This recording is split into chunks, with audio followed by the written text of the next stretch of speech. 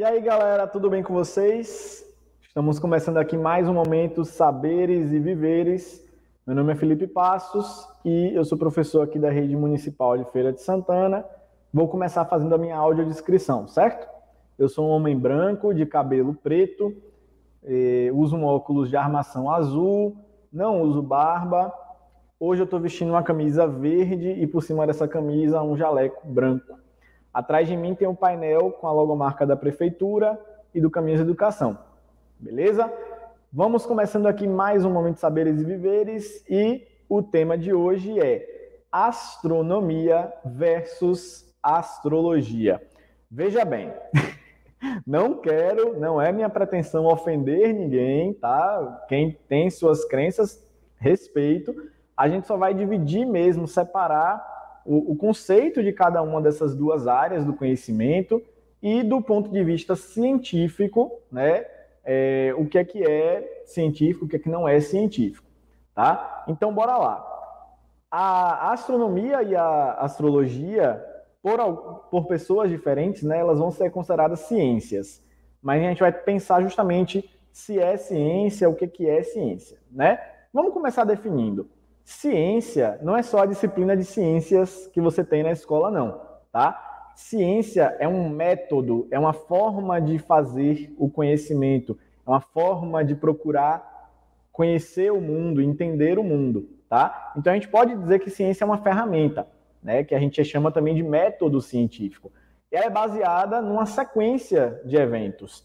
Você vai observar um fato na natureza ou estudar sobre esse fato né, lendo um livro, lendo uma revista. Então você identifica qual é o fato, qual foi o evento que aconteceu, o que é a verdade daquilo ali que você observou. Isso que você observou vai te trazer uma dúvida, né, um questionamento. Então você vai se fazer uma pergunta: por que será que aconteceu isso? Será que aconteceu de, de, tal forma, de, daquela forma, dessa forma, né? Então, sempre depois de observar um fato, vem uma pergunta. Depois dessa pergunta, vem a hipótese. Você já ouviu falar essa palavra? Hipótese é o que você acha que aconteceu.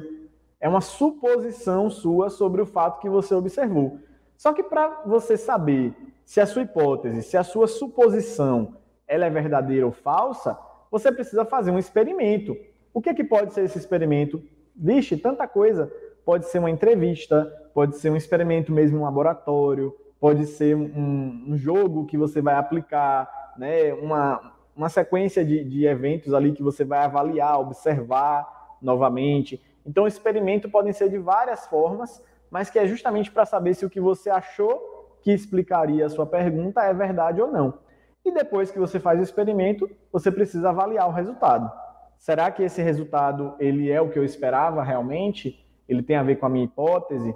Ou esse resultado de repente é algo totalmente inesperado que você não achava que aconteceria, né? A partir desse resultado, então você vai fazer uma avaliação, uma análise, você vai contar para os seus colegas de profissão o que você descobriu, você vai contar para os outros estudantes o que você descobriu. Então a ciência é como se você estivesse seguindo a receita de um bolo. Você tem vários passos que você precisa cumprir até chegar no objetivo. Que qual seria o objetivo? Completar o conhecimento conhecer, saber o que a gente não sabia antes, tá? Então, ciência é isso. Guarde essas informações, né? O passo a passo do que a gente precisa fazer para ser algo científico, para ser ciência, né? Pensando em ciência, a gente tem que pensar também na pseudociência. Toda palavra que tem o prefixo, né, a raiz pseudo, significa falso. Então, pseudociência é uma falsa ciência, né? Muitas vezes, alguns argumentos, alguns fatos, eles são comentados né, na internet, nas rodas de conversa, como sendo um fato científico, quando, na verdade, aquilo ali não passou pelo método, não passou pelo processo da receitinha de bolo que a gente acabou de ver, né? Às vezes a pessoa observou um fato e ela já deduziu o resultado, sem ter feito um experimento, sem ter prestado atenção se o fato é realmente aquilo que ela observou. Então, às vezes, surgem essas fake news, por exemplo, né, baseadas em pseudociência, em coisas que você acha, por sua opinião, né, que são verdadeiras, mas você não foi lá testar, você não não, não, não teve uma equipe vendo esse assunto, não teve a discussão, não teve debate sobre o tema, é, os estudiosos sobre o tema não, não opinaram sobre aquilo, e você já pro, propaga aquilo, né, divulga aquilo como um fato científico. Então, isso é pseudociência. Né? São crenças e, e opiniões, muitas vezes, e boatos que são espalhados sem ter um, um, sem ser atestado se é verdadeiro mesmo, né? Então, o método científico ele é muito seguro por isso, porque você precisa fazer um experimento para provar que aquilo ali é o que você supôs mesmo. Se você parar na hipótese, aquilo ali ainda não é um fato científico, né? Então, olha só, tudo que não foi explicado ainda pela ciência, não foi explicado por um experimento, não foi observado, é tá no campo do sobrenatural, tá no campo do, da, do fictício, né? Então a gente achava que, por exemplo, antigamente, né, achava que a Terra estava no centro do universo. Mas como que as pessoas afirmavam isso, que a Terra estava no centro do universo, se a gente não tinha ainda a capacidade de observar o universo? Só um questionamento aí para vocês pensarem, né? Então, quando a gente observa o fato, quando a gente realiza um experimento mesmo para atestar a sua hipótese, para ver se a sua hipótese é verdade ou mentira, aí sim você passa a considerar um fato científico, que não é imutável não, tá? Mesmo os fatos científicos, com o passar do tempo, eles podem mudar. A gente pode descobrir novas formas e descobrir que a gente estava errado. Mas quando você simplesmente faz uma suposição e considera isso ciência, não é bem verdade, né? É uma pseudociência. Então tem teorias, doutrinas e métodos que eles não são baseados em ciência, mas as pessoas divulgam como se fossem isso. Quer ver um exemplo?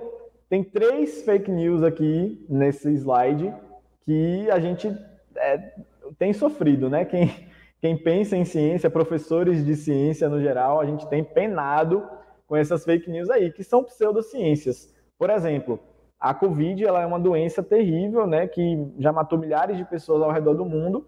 E houve alguns testes lá no início para ver se determinado medicamento funcionava ou não, né? Alguns desses medicamentos, logo do início, eles foram testados realmente.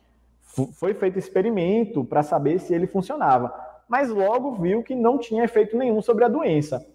Porém, algumas pessoas por razões que a gente não consegue explicar, né? Algumas pessoas continuaram propagando o discurso que esses medicamentos acabariam com a Covid, né? Pseudociência. As pessoas afirmam que salvou milhares de vidas quando ninguém foi salvo por esses medicamentos. Não tem nenhuma influência no desenvolvimento da doença. A pessoa que pegou o Covid, se ela toma esse, esses medicamentos ou não, ela vai evoluir, a doença vai evoluir ou não, conforme o sistema imunológico da pessoa, e não o medicamento. Outra coisa que a gente pena né, para entender por que, que tem gente que continua acreditando e propagando é a tal da Terra plana. Gente, pelo amor de Deus, a gente tem séculos aí de, de diversos. Eu não sei nem argumentar mais, porque assim, a gente tem provas mais do que o suficiente de que a Terra ela é um planeta semisférico, assim como. Semisférico não. É, uma esfera meio amassada, né, digamos assim, como diversos outros planetas que a gente observa daqui. Então, as pessoas que afirmam que a Terra é plana é praticamente uma piada, né, gente? É ridículo para não usar outra, outra expressão aqui. Outra questão muito que dá dor de cabeça na gente é a questão da vacinação. As vacinas elas estão salvando vidas, a gente está saindo da pandemia, graças a Deus, graças à vacinação, né? Então, assim, é, não tem por que acreditar nisso, mas as pessoas elas propagam esse discurso como sendo científico, quando na verdade ele é pseudociência, né? Então a gente pode dizer o quê? Que pseudociência é aquilo que a gente propaga como verdade sem provar, né? A ciência é baseada na prova, no teste, no experimento. Então, quando uma coisa é propagada sem provas, ela é pseudociência.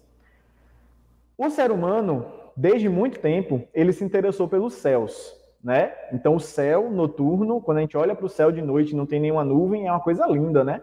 A gente acha interessante realmente, e isso fascina o ser humano desde muito tempo.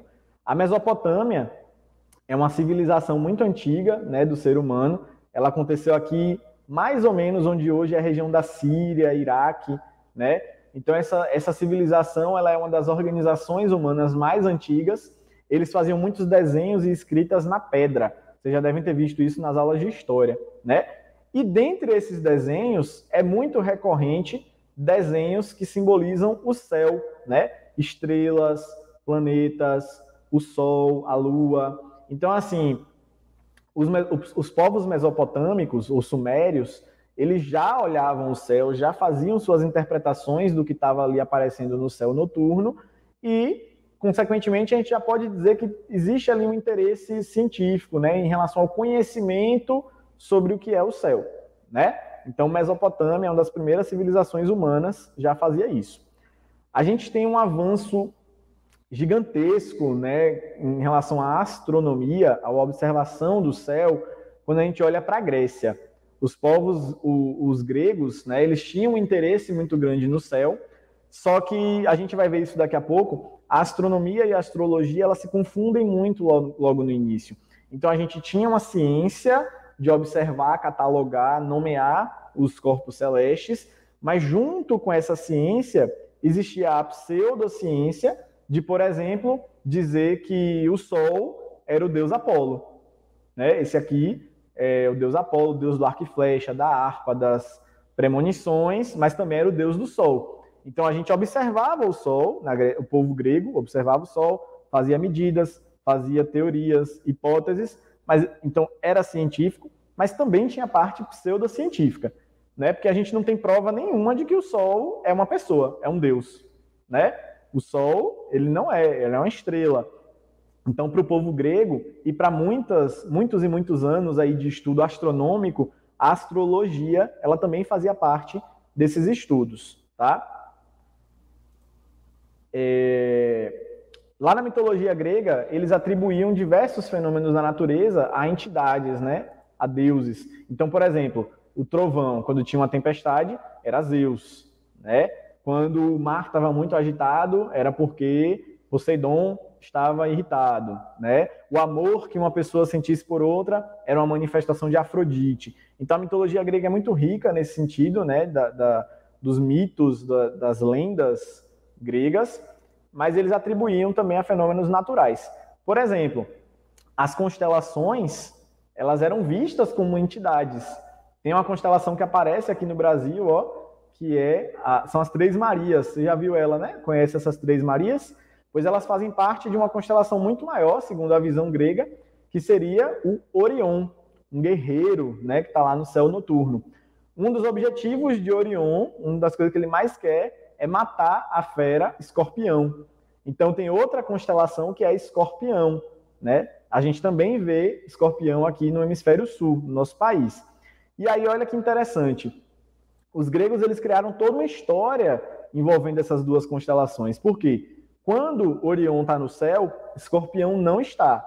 Quando Escorpião está no céu, Orion não está. Então eles criaram uma teoria, né, um mito de que Orion estava caçando o Escorpião e por isso eles estavam aqui, ó, circulando o planeta Terra. E quando Orion está no céu, é porque Escorpião está lá do outro lado e ele não está é, presente no céu noturno, né? Então veja, são constelações, mas tem toda uma história por trás, segundo a mitologia grega. Os egípcios também observavam os céus, principalmente quando se tratava da cheia do rio Nilo, né? Quando havia um alinhamento, olha que interessante, entre essas estrelas aqui, que são as mesmas estrelas do cinturão de Orion, as mesmas três Marias, elas se alinham perfeitamente com as três pirâmides de Gizé. Então, quando acontece esse alinhamento, é porque está próxima a temporada das cheias e o rio Nilo vai encher e vai ser uma época de mais prosperidade, uma época de plantio, né? Então, assim, civilizações antigas já olhavam para o céu. Os povos americanos também olhavam para o céu, né? Os incas, maias e astecas, eles têm aí diversos aspectos das suas artes, né, das suas escritas que envolvem o céu noturno, principalmente quando se trata do sol, né? É, eles têm calendários baseados também em, em eventos celestes existem vestígios de observatórios. Olha que legal, uma civilização que nasceu aqui na América do Sul, né? Ela tinha observatórios mesmo para olhar o céu noturno, catalogar os astros. Então esse observatório aqui de Chichen Itza, ele era da civilização maia. Né? Então eles faziam ciência, mas também faziam pseudociência quando se trata da observação dos astros. No Brasil, a gente também tem mitologia envolvendo o céu, né? É, então tem três deuses aqui que fazem parte da, da civilização Tupi-Guarani, né? Então você tem Jace, que é a deusa lua, você tem Tupã, que é o trovão. Jace e Tupã eram um casal e o filho deles foi Guaraci, ou o sol. Então, para os Tupi-Guarani, o sol é um deus, o trovão é um deus, a lua é um deus. Beleza.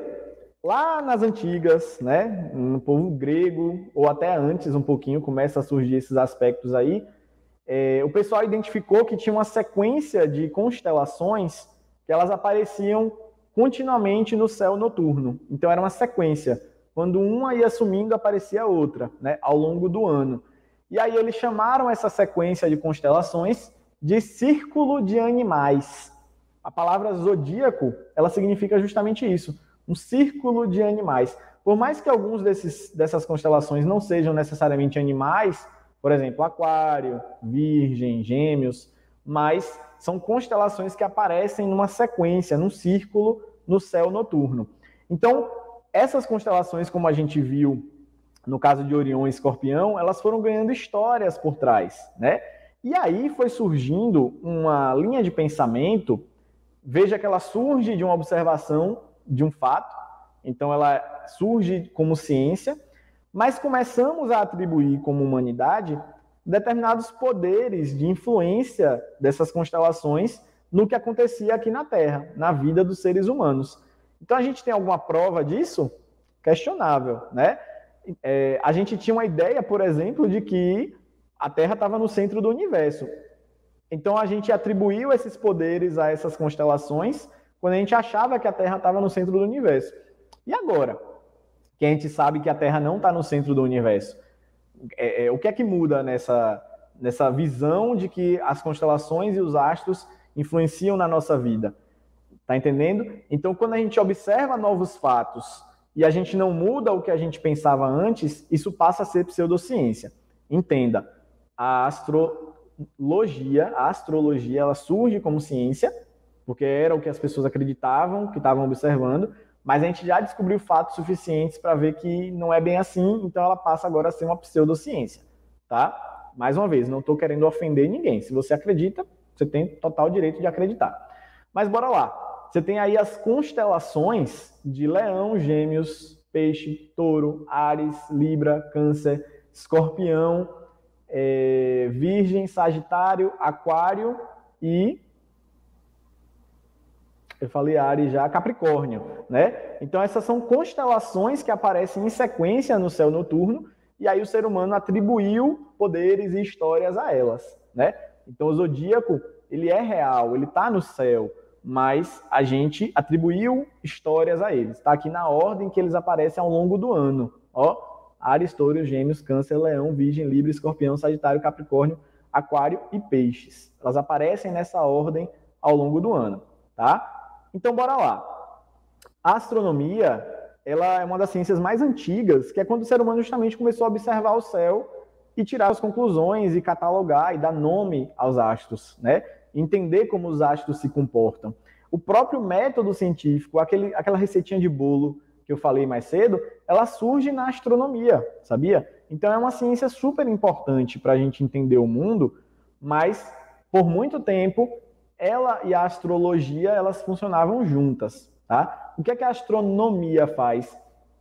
Ela identifica os corpos celestes, ela nomeia, descreve as características desses corpos, qual é a trajetória que ele está cumprindo, né? Qual para onde ele está indo, qual a idade desse corpo celeste, qual a distância dele para aqui para a Terra, né? Então assim, a astronomia ela é super importante para a gente entender a localização, a posição da Terra no universo, tá? Já a astrologia, ela começou junto com a astronomia, mas hoje elas são coisas bem diferentes, né?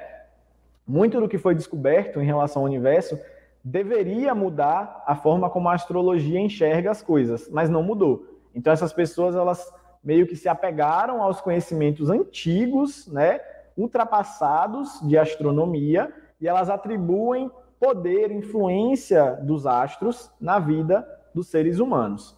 Quem é adepto da doutrina, ele acredita que a posição dos, dos planetas, a posição das estrelas no céu, elas influenciam na forma como você age no seu dia a dia, na sua personalidade, na sua sorte, né, em diversos outros aspectos. Inclusive, é super comum que astrólogos, eles também pratiquem outras artes ocultas, né, como a adivinhação, o tarô, enfim, e outras, e outras artes que são artes, são doutrinas, não são científicas, tá? Então, assim, fique livre para acreditar, para seguir, para buscar o seu horóscopo, né?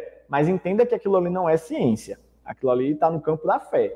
Se você tem fé naquilo, se você acredita naquilo, beleza. Só não diga que é ciência, tá? É, Para compreender melhor essa diferença aí de astronomia e astrologia, vamos entender por que, que as pessoas acreditam na astrologia, né? Esse vídeo ele é bem interessante. Assiste aqui comigo.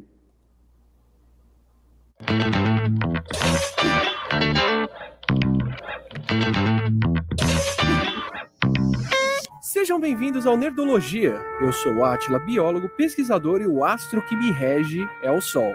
Hoje vamos entender como funcionam os signos e a astrologia. Para começar, vou ler a descrição de um dos 12 signos que você vai ouvir e me dizer nos comentários se trata-se do seu. Você tem a necessidade de ser querido e admirado por outros, e mesmo assim você faz críticas a si mesmo. Você possui certas fraquezas de personalidade, mas no geral consegue compensá-las. Você tem uma capacidade não utilizada que ainda não tomou em seu favor. Disciplinado e com autocontrole, você tende a se preocupar e ser inseguro por dentro. Às vezes, tem dúvidas se tomou a decisão certa ou se fez a coisa certa. Você prefere certas mudanças e variedade e fica insatisfeito com restrições e limitações.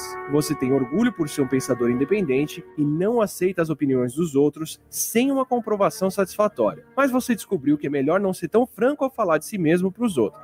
Você é extrovertido e sociável, mas há momentos em que você é introvertido e reservado. Por fim, algumas de suas aspirações tendem a fugir da realidade. A astrologia e a astronomia foram a mesma coisa por muito tempo. As duas eram formas de observação dos astros e tentativas de entender os ciclos que regem o universo, nosso planeta e a vida na Terra. Mas enquanto a astronomia continuou olhando para cima e tentando compreender cada vez mais, a astrologia continuou parada no tempo e se especializando em olhar para dentro e explicar cada vez mais o que as pessoas querem ouvir a maior diferença entre as duas começou durante a Renascença, quando a astronomia ajudou a desenvolver o um método científico que aplica e segue desde então. As observações dos primeiros astrônomos eram anotadas e compartilhadas na forma de publicações, que podiam ser comparadas, checadas e corrigidas por outros astrônomos. Como Richard Holmes conta no ótimo Age of Wonder, Kepler, que também ganhava vida como astrólogo, fez enormes avanços na astronomia, com observações cada vez mais precisas e com desenvolvimento e teste de leis. Foi assim que Newton conseguiu desenvolver a teoria que explica a força que os astros exercem à distância sobre nós, a lei da gravitação universal. Além das próprias medidas, ele usou medidas feitas por outros astrônomos. Trabalhou sobre os ombros de gigantes. Por propor uma explicação descrita matematicamente, ao invés de usar termos vagos e contraditórios, ele permitiu o uso de outra ferramenta científica, a geração de previsões e o teste de hipótese. Essas ferramentas tornaram a ciência tão poderosa que Alex Bovard predisse que algo com uma gravidade deveria estar perturbando a órbita do planeta Urano e descobriu Netuno, ele propôs um planeta até então desconhecido, que depois foi encontrado e confirmado. Fez uma previsão que foi testada e aceita. Já a astrologia, por não usar o método científico, continua em grande parte defasada. Ela não leva em conta várias descobertas astronômicas, como a precessão dos equinócios, o movimento circular que o polo da Terra leva quase 26 mil anos para completar nem mesmo considera outros planetas e constelações que foram descobertos nos últimos séculos, que se pudessem causar efeito que os astrólogos alegam que têm, deveriam ter causado perturbações não explicadas na personalidade das pessoas que levassem a alguma nova descoberta astronômica ou astrológica, como foi a interferência de Netuno na órbita de Urano ou pelo menos renderiam mais cavaleiros do zodíaco. Mas testar cientificamente a astrologia só demonstrou que ela não funciona, como o famoso teste duplo cego de Shaw Carson, publicado na Nature em 1985, onde os astrólogos falharam em acertar o signo de 100 pessoas mais do que por pura chance. Da mesma maneira que se você comparar o horóscopo do dia em várias fontes, vai ver que nenhum deles bate. O texto que recitei no começo do episódio foi criado em 1948 pelo psicólogo Bertrand Forer, usando trechos de horóscopos, e foi feito para ser completamente ambíguo, com frases como você é extrovertido, mas de vez em quando introvertido, e com desejos e medos comuns à maioria das pessoas, justamente para que todo mundo se identificasse. Na verdade, ele não descreve signo nenhum, o que acontece é o viés de confirmação que já explicamos no Nerdologia sobre simpatias, onde quem lê só lembra dos acertos e esquece dos erros. Assim, enquanto na astrologia não se pode adivinhar o signo de uma pessoa com base na personalidade dela, mais precisamente do que por chance, astrônomos, físicos e engenheiros pousaram uma sonda a 66 mil quilômetros por hora em um asteroide a 500 mil quilômetros de distância, usando 10 anos de órbita dos planetas e a aceleração pela força da gravidade, deduzida e descrita por Newton. Enquanto a ciência cresce sobre o ombro de gigantes, a astrologia cresce sobre o bolso de desinformados. Então, né, é, de novo, a nossa intenção aqui não é ofender ninguém, né? Mas a gente já tem um respaldo científico enorme aí histórico, né, de muitos e muitos séculos de aprendizado para saber que o, os astros eles não são exatamente como a gente observa aqui da Terra. Quer ver um exemplo? Essas estrelas aqui, ó. Deixa eu voltar lá para o início. As estrelas que compõem o cinturão de Orion ou as Três Marias, ela, a gente vê elas assim uma do ladinho da outra, né? Você vê aquele aquela linhazinha de três estrelas. Mas os, os astrônomos já sabem que elas estão em distâncias completamente diferentes da Terra. Então, uma delas está muito mais distante, a outra está mais perto e a outra está mais perto. Então, assim, a gente vê daqui da Terra como uma coisa plana. A gente via lá na Grécia Antiga o céu como uma coisa plana, uma, um, uma esfera né, que ficava por cima da Terra. Hoje a gente sabe que o universo está em expansão, ele é um espaço teoricamente infinito. Então, assim, como que uma estrela que está lá longe, a milhões de anos-luz da Terra, ela vai influenciar na sua vida, né? Como que a posição dos planetas ela influencia na sua vida? E os planetas que a gente não descobriu ainda? E os planetas que saíram da categoria de planetas, né? Existe inclusive uma teoria de que exista um nono planeta no nosso sistema, só que a gente não achou ele ainda. O espaço é gigantesco. E aí, esses erros, eles não são considerados pela astrologia, percebe? A, Terra não está no centro do universo, mas quando a astrologia ela começou a, a ser construída, a Terra era o centro do universo. E aí?